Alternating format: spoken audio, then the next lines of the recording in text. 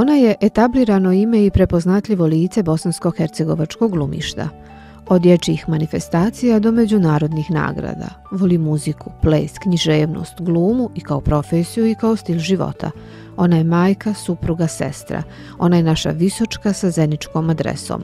Završila dva fakulteta. Osmijeh je njen zaštitni znak. Prava bosanska žena u emisiji Viša Visočka Faketa Salih Begović Avdagić. Pa evo sad, prvo da pozdravim svoje dragi Visočane. E, mada sad rijetko kažem imam priliku da dođem ovaj, u Visoko, da obiđem, da se vidim sa, sa srajom, da se sretnem s dragim ljudima. Tako to biva u životu kad vas obaveze jednostavno okupiraju, ali eto, moj posao je takav da, da zahtjeva mnogo kretanja, mnogo ovaj, putovanja, pa eto jednostavno ne stižem mnogo doći, baš ne stiže više puta koliko bih htjela. E, ali evo sad zato e, ovo ljeto sam baš imala mnogo e, obaveza, mnogo drugačijih, u stvari provela sam ga radno. Tako da je, ovaj, to je bilo jedno zadovoljstvo, eto iznenada, ja se isto tako nisam nadala, nisam očekivala, mislila sam da će to biti neko mirnije e, ljetno razdoblje, jer je tad kod nas u pozorištu sezona godišnjeg odmora, ali evo za to vrijeme e, obično glumci ne miruju, tad se recimo snimaju razne serije, filmovi, kad se malo nađe prostora, dakle da su svi slobodni da se mogu organizovati snimanja i onda su razna gostovanja tu i festivali. Ljeto koje smo ispratili za Faketu je bilo radno i vrlo uspješno. Osvojila je specijalno priznanje na 53. festivalu glumačkih ostvarenja igranog filma Filmski susreti Niš.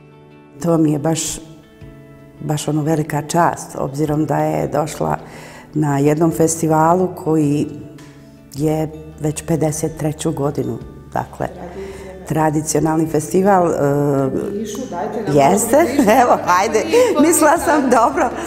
Ovaj, to je, dakle, festival u Nišu, filmskih uh, ostvarenja u Nišu. On se 53 godine, dakle, ovaj, već održava. I na tom Niškom festivalu se uglavnom uh, nagrađuje, zovu ga u podnaslovu, nosi festival uh, glumca, dakle, filmskih ostvarenja, glumačkih Dodijeljuju se nagrade, glumačke nagrade, uglavnom, u stvari sve su glumačke nagrade i ono što je zanimljivo da Udruženje filmskih radnika, eto, Srbije ovaj puta su, uh, smo dobili poziv da uh, učestvujemo i filmovi iz regiona na tom festivalu. Uh, I žiri je sastavljen od kolega glumaca, dakle, glumci struka nagrađuju i ocjenjuju kolege. E to je velika čast kad na takvom jednom festivalu dobijete priznanje od svojih kolega. To je veliko. To ima jednu posebnu. Jest. Kako je uloga, kako se film zove? Dajte malo, ja znam, ali znam. Pa evo, ovaj, evo za, za gledalce sad uh, će taj isto film, dakle, nosi naziv Meso. Uh, Eh, nastala istovremeno u produkciji, jednoj nezavisnoj produkciji eh, Bosonoga iz Banja Luke. Eh, na poziv reditelja Saše Hajdukovića, jedna mlada ekipa se okupila oko tog projekta, dakle snimala se istovremeno i serija i film. Materijal i za seriju i za film. Produkcija je tada odlučila da se prvo emituje serija i ona je emitovana na kanalima ovaj, televizija i, i, i u, na našem, na emitovana je prvih nekih devet epizoda i postigla je veliki uspjeh, a poslije toga se je smontiran materijal za film i evo sad film eh, dakle, posjećuje ovaj, festivale, bio je prvo na Sarajevom film festivalu, po festivalu eh, u Vrnjačkoj banji, pa je u Nišu. 20, uh, 14. oktobra ovaj, je na festivalu u Tuzli. Pa evo, Ko želi da pogleda i film, može doći u Tuzlu 14. u nedjelju u pola osam Narodnom pozorištu, mislim da je projekcija. Eto, to... Da nas gledaju na tom području, pa evo divna informacija da, da. da vas vide. E, uvijek je to pitanje za glumca. E, koliki su izazov daske koje život znače, a koliko kamera, odnosno sada serije, je li -huh. Za paketu posebno? Pa kako da kažem, za glumce je izazov uh, svoj posao raditi u svim medijima. Dakle, mi imamo sreću da možemo raditi svoj posao kroz radne medije. Dakle, ne samo na sceni na, u pozorištu, nego i na radiju i televiziji, film. I tu još mnogo, mnogo prostora se otvara za rad za mladima, za neke radionice ili neke projekte. Naravno, dakle, široki dijapazon gdje mi našeg polja djelovanja u stvari je veliko. Tako da je ovaj izazov svaki put i svaki puta je nova predstava, novi izazov. I to je ono što je ljepota ovog posla, zbog čega ja volim ovaj posao. Svaki put krećemo iznova. Svaki, e, svaka nova uloga je nova avantura. I eto, ovaj, sad različiti su možda načini film, kako se, kako se igra za televiziju, kako se igra za film. E, možda sad su neka, na neki način, to su pitanje zanata, e, kako to kaže, kako nas uče na akademiji glumačkoj, kad si na, na sceni, onda je pokret, kad kažeš desno, ovoliki. Kad govoriš za televiziju, onda je to pokret ovako, a kad je za film, gdje je filmska kamera sve označava, onda je to ovako. to su sad nešto iz tajni glumačkog zanata. Dakle, svedenost ili način, ali u svemu, tome je uh, temelj je u stvari, to su sad finese, ja govorim samo o sredstvima, ali temelj u svemu tome jeste uh, iskrenost i posvećenost liku kojeg tumačite. Dakle, u svemu tome vi morate znati, e, morate svoje tijelo, svoju, dakle, kao, kao svoj instrument, e, posuditi tom liku na taj način da promišljate i djelujete i krećete se kao taj neko, taj lik, da bi on bio uvjerljiv prvo vama. Ako je vama i ako imate odgovore, onda i gledalci će vas doživjeti iskreno. Bićete to, jednostavno morate biti to, taj lik koji tumačite. Koliko to lika Fakita ostane u Fakiti? Jel se nekad desi da, da Fakita razgovara s tim likom? Znate kako to u pripremi dok radite neki lik, mi e, mnogo toga propitujemo. E, kao prvo okolnosti ko je taj lik, šta je, postoje neka pitanja gdje, u kojim, u kojim okolnostima radi, e, E, gdje, šta je ono, u stvari njegovu biografiju pišemo mi kao ovaj. I posle toga, kad počnete razmišljati na način, onda ne, na neki način sukobljava se vaša ličnost sa, sa tim likom, koliko je to, koliko se tu sudara, koliko vi utičete i dodajete svog tom liku, toliko i ti likovi ostavljaju negdje tragaju vama. E, naravno, mi moramo naći uvijek unutar sebe balans, mi moramo uvijek naći nešto čvrsto da se uvijek vratimo sebi i budemo ono što jesmo. Ali svaki novi lik je novo istraživanje i nas kao ljude izgrađuje mene kao faketu, svaki novi lik koji tumačim, koji istražim kao lik, upoznaje s nekim novim karakterom, drugačijim karakterom i to mene nekad i neka moja promišljanja prema ljudima, prema svijetu mijenja. Ili jednostavno otkrivam uvijek nešto novo. I unutar sebe čak pronalazim neke nešto što nisam ni znala da postoji unutar mene. To je opet najteže putovanje, što kaže, unutar nas samih. E, to jeste ono što kroz što prolazimo mi dok stvaramo neki novi lik. Uvijek nalazimo neku dotičnu tačku tog lika sa nekim titrajem u nama. I to, kad se u stvari spoji, vi dobivate neku istinsku, iskrenu e, reakciju. Negdje u nama postoji čuči svašto nešto neispitano. E mi kroz svaki taj proces ispitivanja i rada na liku preispitujemo stvari sami sebe. Svaki susret sa faketom uz toplu ljudsku riječ obojen je osmijehom. Osmijeh je faketin zaštitni znak. Pa eto tako, valjda od Boga dar, to je tako. I ovaj, i moji rahmetli roditelji i brati, moja porodica uvijek su mi bili ovaj, ono prvi oslonac i uvijek smo se voljeli i dan danas se u stvari i ono i šire naravno familija. Uvijek se nekako poštujemo i uvijek se e, volimo se između sebe i smijemo a apsolutno jest. Tako da nam je ono osmijeh hajde da se nasmijemo brate vili Jes, mislim, svakom bude ako treba neku, ne, naravno svaki ima nekad teško je čovjek u svakom, život je takav, ali ovaj, sve se da uz osmijeh i nekako ljudsku riječ, lakše se sve prođe. I kao što reko smo, Faketa Salih Begović Avdagić je prava visočka sa zeničkom adresom. Jedno bi je čak i profesor Osman Pirija rekao ti moraš, kad sam polagala jednom ispit kod njega, ti moraš, kaže, ne smiješ manje od osam imati osjenu. A rekao, što profesore? Pa i visočan, imate četiri škole. Kako mislite četiri? Imate osnovnu, imate srednju, visoku i visočku. Prema tome ne smiješ manje od osam imati. e, dobro, uvijek u, u takvu pozitivnom kontekstu ovaj, ovdje u Zenci kažu, e, evo nama naša visočka će to reći i objasniti kako to biva. Jednostavno, onaj, valjda smo mi talentovani, kako kažu, više multitalentovani. Za svašta nešto što, što, što se zanata tiče, što se evo svega.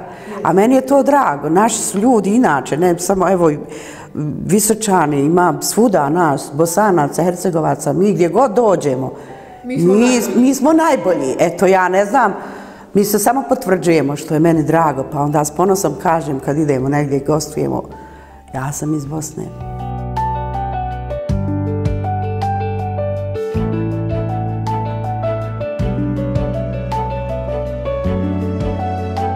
Djeca su već odrasla, krenuli su svojim putem da traže, recimo, svoje mjesto pod suncem, kako se to kaže.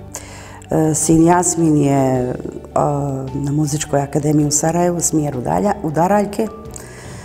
I ovaj, kćerka je krenula na studij engleskog jezika. Ja sam rekla to, vi birate djeco, vi se pronađite u nečemu najvažnije u životu da u stvari radite ono što volite. E, da li je to vaš izbor? Ako ide, ako se umeđu vremenu ovaj, predomislite, ako misli, vidite da to nije to, nikad nije kasno u životu promijeniti i zaokrenuti se ka nečemu što vas ispunjava i što vas čini sretnim. Onda svaki posao koji radite, ako je to ono što vas ispunjava kao ličnost, onda to nije posao.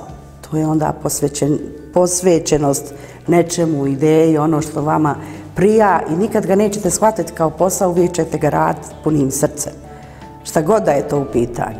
Neko voli, kaže, volim da pišem, ono da kuckam, dakle, ja to volim, uživam u tome. I onda taj posao radi tako dobro da nema boljeg daktilografa od njega. E, tako je u svakoj profesiji. Zato je mama završila dva fakulteta. pa dobro, jest, ja sam tako igrom slučaja, htjela sam, mislim uvijek sam ih htjela i voljela ovaj, glumu, ali eto, voljela sam još pored toga svašta nešto, pa sam onda prvo završila jedno, pa radila, opet se vratila prvo ljubav. A onda sam završila i to, akademiju i, i dalje nastavila putem. Opet sam ono što je u meni, što mene ispunjava, Zato kažem, i nikad nije kasno. Kad kaže ono, obično kod nas, ako nisi ono, završi odmah, pa, mislim, treba pustiti ljude, treba djecu pustiti, ja, evo, prva nekad sam, i previše je mama, previše drhtim nad njima, pa se onda samu sebe nekad korim, kažem, pa pusti djecu, nek oni malo sami. A valjda jednostavno ovo vrijeme u kojem sad e, odrastaju nas, nas možda tjeraju da mi možda i previše nekad brinemo, nego što su možda i naši roditelji oko nas.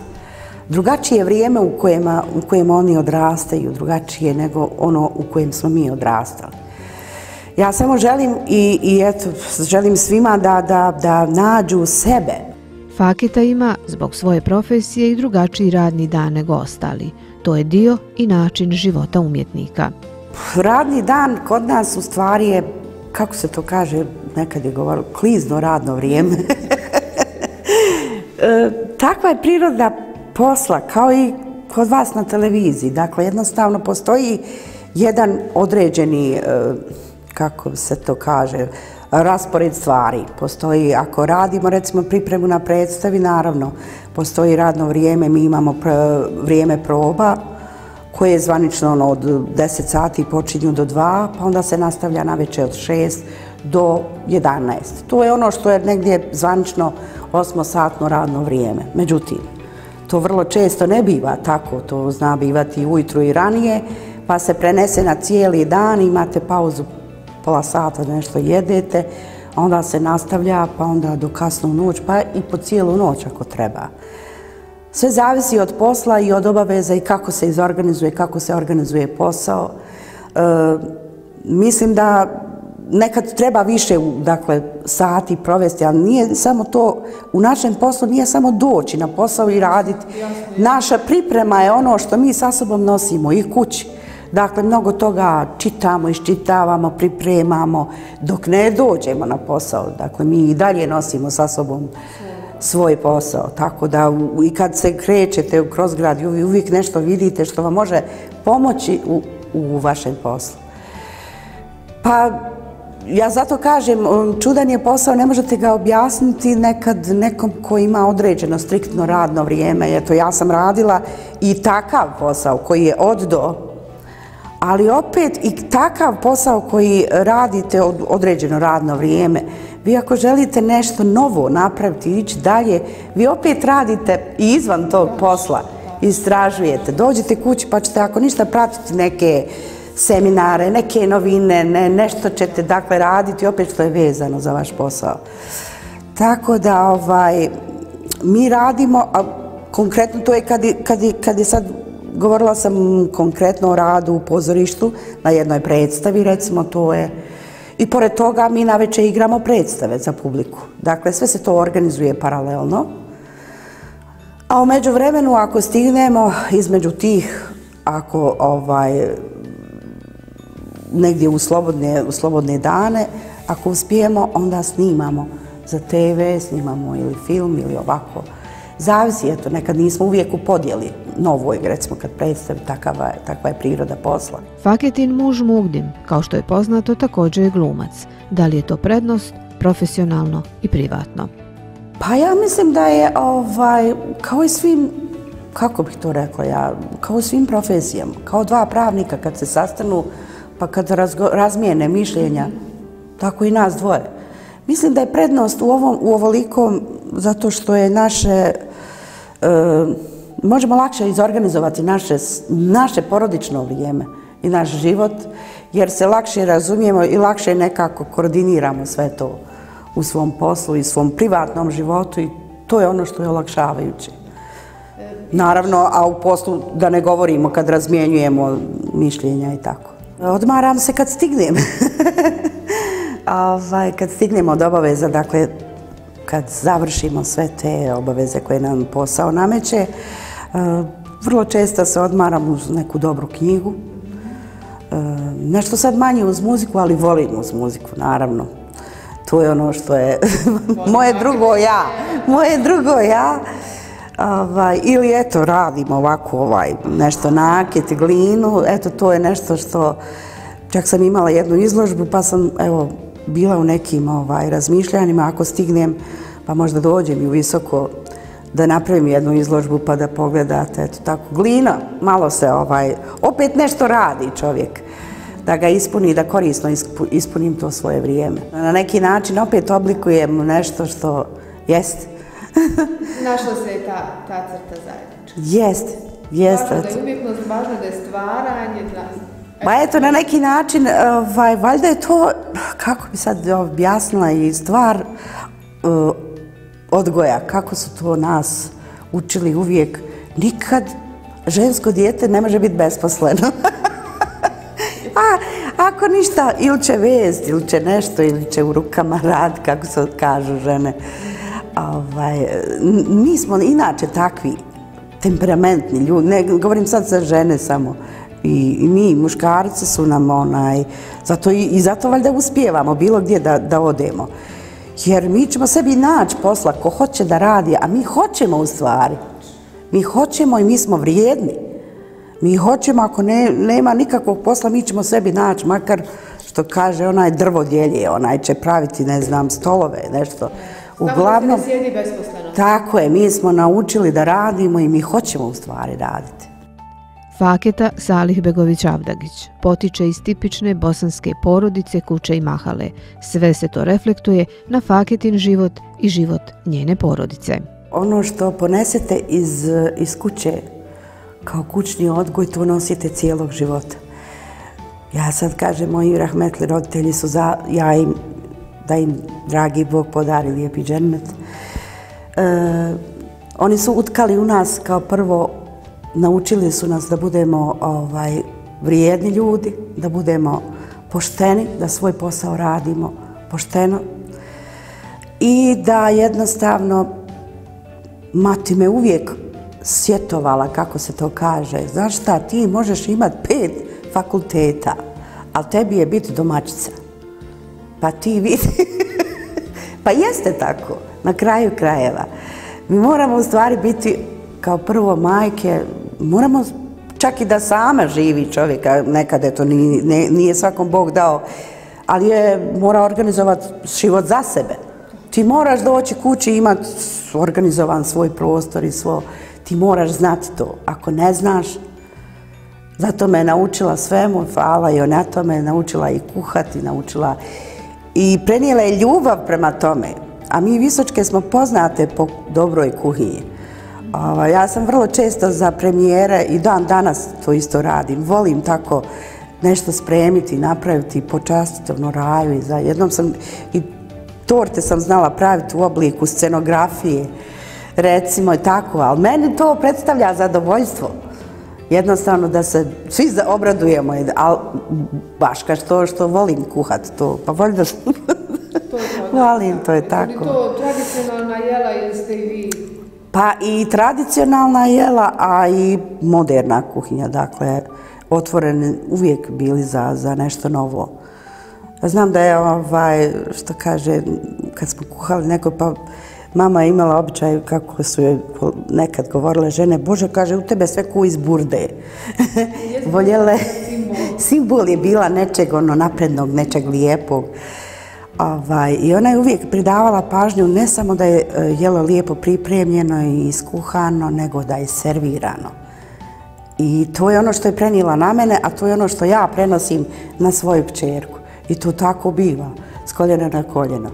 Ali mislim da je to lijepo, da trebamo u stvari zadržati te, taj lijepi običaj kad se svi za stolom okupimo, pa makar taj objed zajednički pa porazgovaramo između sebe, ostavimo te mobitele sa strane, svi ujutru kad kafu sjedemo, ja kažem, ostavite, molim vas, mobitel.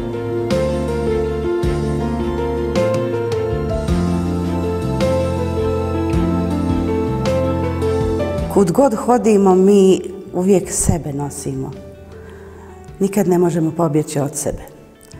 Ljepotu i mir prvo moramo pronaći u sebi.